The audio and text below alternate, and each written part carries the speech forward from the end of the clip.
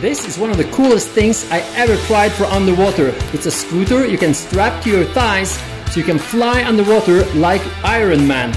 It's really cool and it's really fast.